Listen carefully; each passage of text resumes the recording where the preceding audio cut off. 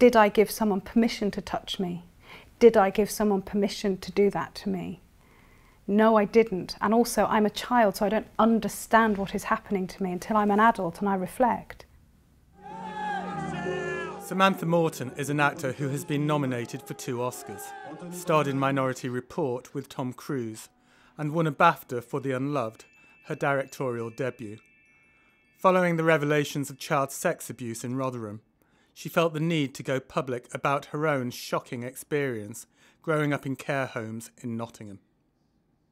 In between the ages of three and 11, was that when you were kind of being moved from foster yeah, different care foster to home. back to my dad, back into foster care, back to my dad. your dad was violent, wasn't he? Um, yeah, yeah, he was. Your mum was she, she couldn't cope. Was she was she ill? My mum um, didn't get custody of us when we were little, when my parents separated. She didn't have a house, and in those days, you know, the person with the house, maybe he, my dad got custody because he had somewhere to live. My understanding of the reasons why we were in and out of care were to do with my uh, family's inability to cope. Um, ab- uh, abuse, violence, um, alcohol abuse, uh, drug abuse, depression. What was the name of the home? The, the first home I was at was called Red Tiles. Actually, I have incredibly fond memories of this particular home, of the children, some of the kids I lived with, um, and some of the staff members, and it felt, 'cause it was a small unit. But you weren't abused then? I was abused there, yeah. Sexually abused? Yes, then? I was, yeah. Was that by members of staff? Yes. And was that the first time you'd been sexually abused? No, it wasn't. of- Oh, but, but sorry, by members of staff. Yeah, I'd been abused by other people before then. And maybe that's what makes those children vulnerable, huh? Maybe that's that's what makes you the one that they go after. Maybe, I don't know. And it was members of staff Yes. abusing? Residential social workers, yeah. There was And also what, another what home I was at of where abuse are you? What What are you talking about? What It's what the word. I think that um, the word level is a funny one because it's what's relevant and what, what how it affects you for the rest of your life. Um, I think I was um, quite used to certain sexual things happening in that home anyway, because a lot of the staff members, the residential staff members, were quite young. So some of them might be 19 years old, young men looking after girls of 17, 16, 14, 13, you know. However, something can happen to one person that might be not very high a grade, but can literally destroy them for the rest of their lives. And so it is, and it is what, what is deemed acceptable to the individual. Did I give someone permission to touch me? Did I give someone permission to do that to me? No, I didn't. And also, I'm a child, so I don't understand what is happening to me until I'm an adult and I reflect.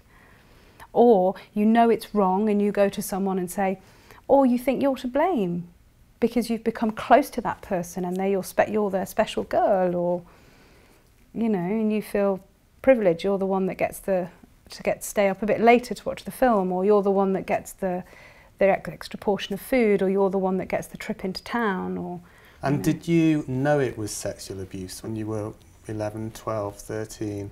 Yeah, I, can, I knew then. I knew what, what, what was happening wasn't And cool. how was it presented to you by the people who were abusing? That's that's a more detailed in, in thing about what actually happened at the time, and I don't I just I don't want to talk about the actual thing that happened or things that happened, but um, it's if if you think about this, you have children living with living with the abusers really, because these people are feeding you, cooking, you know, they're cooking for you, they're monitoring the home, their staff sleeping in, there's a staff sleeping in room next to your bedroom, there's all sorts of opportunities for people to violate you or hurt you or harm you or or there's it's not you don't really have any the same rights as an individual living at home with their parents. And when you complained about being sexually abused Mm. to social workers, did they seem to be listening? Did they respond? Not that I remember. No, support, no, no offer of counselling, no offer you- of, or even wanting to delve deeper. I think my wanting to talk about it was thinking that something would happen because of that information, and nothing would happen. There wasn't like, a, oh, we're going to deal with this or we're going to do something about this or make sure this person can't do it to anybody else. When you went to the police,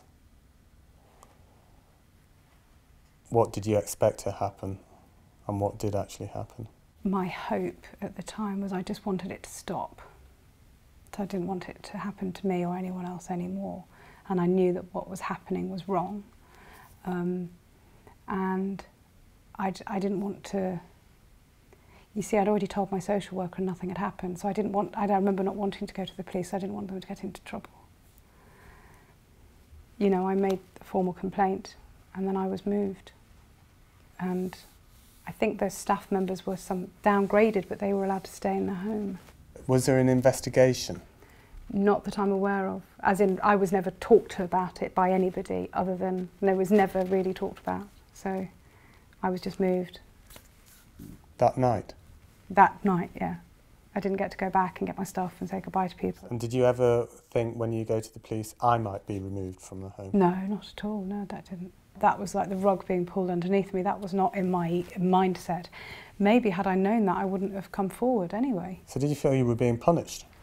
Yeah, major, massively, majorly, that I'd betrayed that place and those people that I loved and some of the people that loved me. People were furious at me, for, you know, that there'd been any accusations or anything furious. Did you feel you'd been believed? Yeah, I knew I'd been believed by various other staff members. It wasn't just me that was happening to.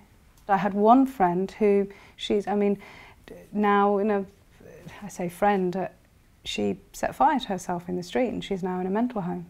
So, Jesus. do you believe me? Do you believe me? Do you believe me? They'd say. To who? To, to the staff, to other people. After you went to the police with your mum? Yeah. And they just moved you to the other place? Yeah, which was horrific. It's the worst church. It doesn't exist anymore, but it's the worst. It was, I wouldn't, it was horrific there. And how long were you there? I ran away. I just wasn't there for very long. I was legally there for, I think, about a year, but I, I was never there. And were you abused there? N not sexually abused, no. But physically, vi violence towards me, yeah.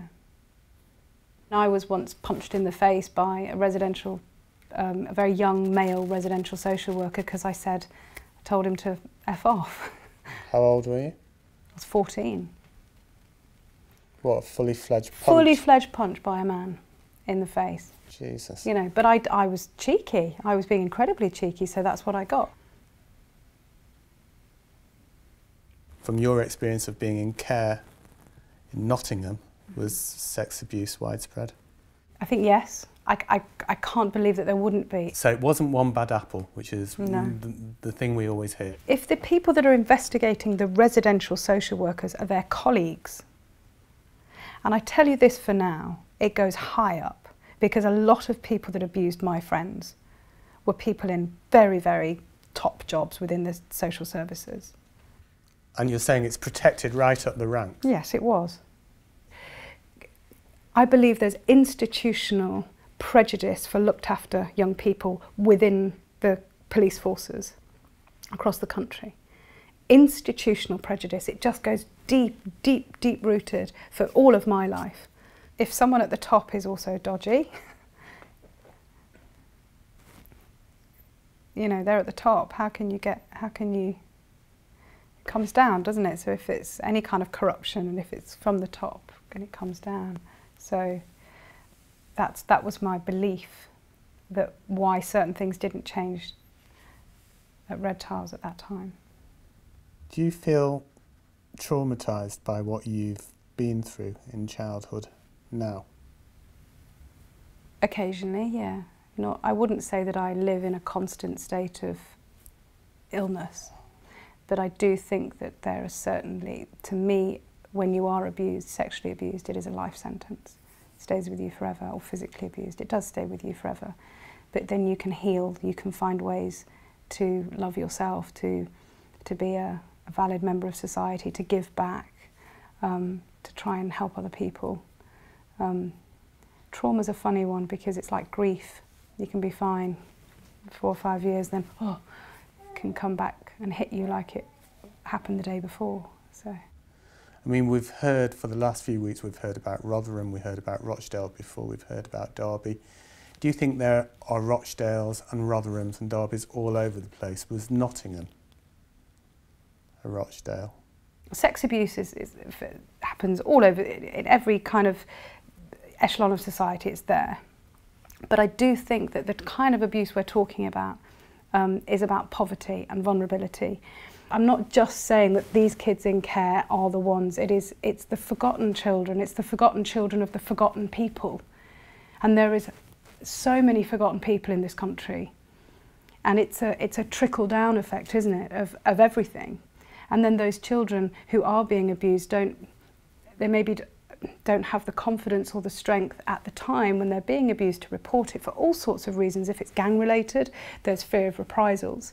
Um, or what's considered norm. It's how things are manipulated, and children are still growing, their brains are still growing, so they're manipulated into thinking that it's normal. Grooming happens in all sorts of different ways. Um, and I think that to me, what I saw in children's homes in Not Nottingham now my mind absolutely boggles with, with what was considered acceptable and not challenged or changed.